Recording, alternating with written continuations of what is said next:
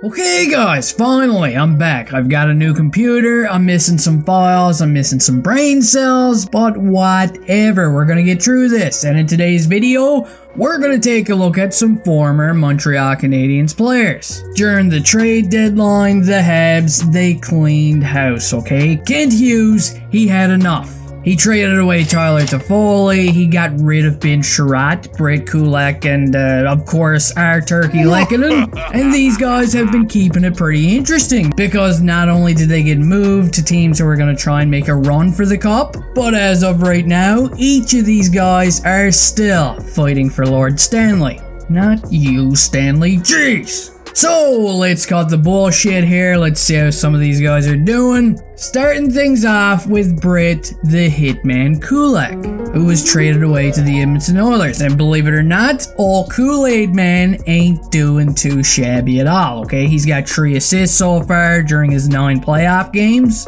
And from what I've been reading, Oilers fans, they seem to be digging this guy. They're pretty pleased with him. I've even read a couple of tweets claiming that Kulak has been their most reliable defenseman so far this postseason. So pretty good stuff, and this is a pretty special time for Kulak. It's the Battle of Alberta, and all Kulak is from Edmonton. This guy grew up an Oilers fan, so you know what that means. When the Flames drafted him, we almost had another Eric Lindros incident. Moving on and sticking with the Battle of Alberta, we got Tyler Toffoli, who also ain't doing too bad. You know, despite having a random nurse in Edmonton trying to slash his throat at one point. Look at that. Jeez. Last time I saw stuff like that was in a Mel Gibson movie. Anyway, Toffoli, he's been holding his own, okay? He's got two goals and two assists so far during the playoffs, and uh, it's only a matter of time before he begins picking it up even more,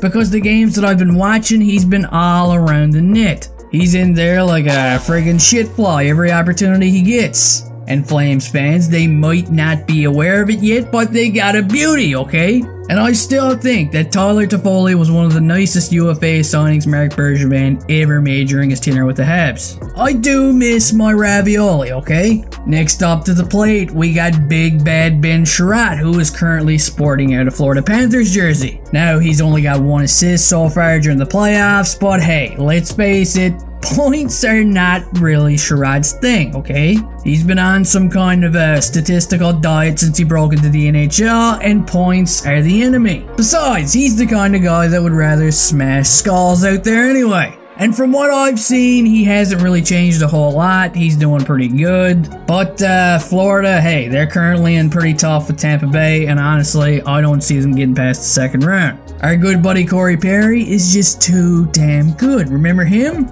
Yeah, of course you do. The guy that wasn't worth signing for a couple of years in Montreal, but a dynasty like Tampa decided, hey, he can make the cut here.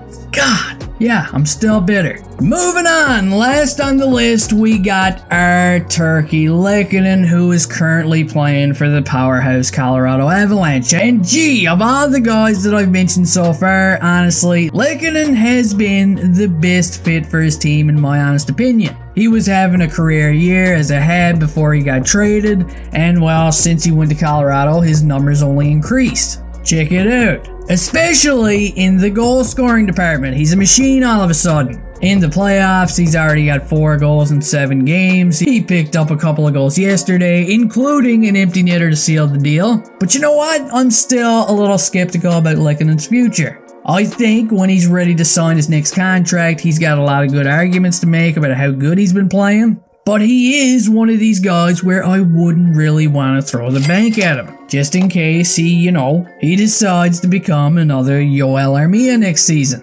Now, last night I made a last minute community post before I went to bed, and I asked all you grasshoppers out there which player that was traded near the trade deadline would you like to see lifting the Stanley Cup this year? And hey, the results, they speak for themselves. Everybody appears to be on the turkey bandwagon.